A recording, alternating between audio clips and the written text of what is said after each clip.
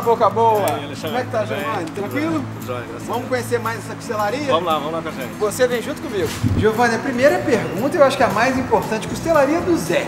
Mas quem que é o Zé? O Zé é um empreendedor. Tinha um sonho de ter um restaurante, uma costelaria, que é a tradição na fazenda dele, todo ano, aniversário dele, ele faz a costela no chão. É dono de três hotéis na cidade, inclusive do trade hotel aqui da costelaria do Zé. Mas que história bacana, Giovanni. Alexandre, bacana ele te contar. Vamos lá conhecê-lo? Opa, vambora. E aí, Zé, como é que você tá? Tranquilo? Ótimo. Queria que você me contasse um pouco mais sobre essa realização de um sonho de abrir a sua própria costelaria. Há alguns anos atrás, indo na Argentina, eu saía da- do hotel, passava perto de uma costela de chão e eu não pensava em outra coisa, não voltar ali para comer aquela costela. E sempre tive paixão por esse tipo de carne.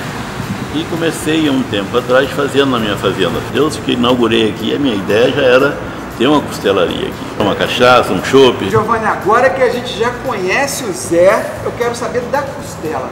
Como é que é a preparação e também como que ela é servida para os clientes? É uma repaginada do fogo de chão. Ela é temperada, colocada na vitrine e fica lá durante 12 horas. E depois é servida na pedra, ou passada num carrinho, fatiada na hora que o cliente pode comer ela na balança, no quilo. Vamos pedir uma dessas que serve duas pessoas então? Agora. A gente quer uma porção de costela para duas pessoas, dois chopps do Zé e uma cachaçinha do Zé. agora.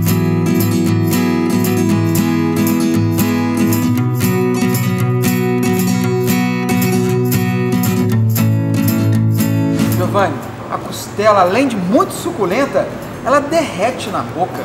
E essa mandioca também é da fazenda do Zé, cara. Além de muito suculenta, de muito gostosa, os acompanhamentos também, a mandioca muito macia. E o chopp do Zé harmoniza muito bem com isso tudo. Vocês estão de parabéns. Obrigado. Parabéns pro Zé. É, parabéns pro Zé. Queria pedir a conta. Ô Dan, a conta, cara.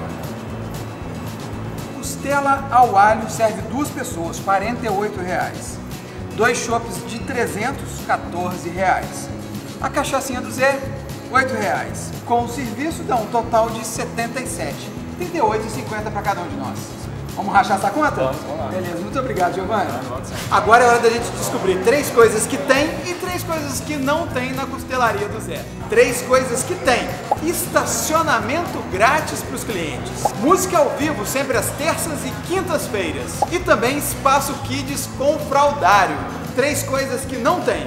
Na música ao vivo não tem cover, não tem comida japonesa e você também não tem que voltar para casa.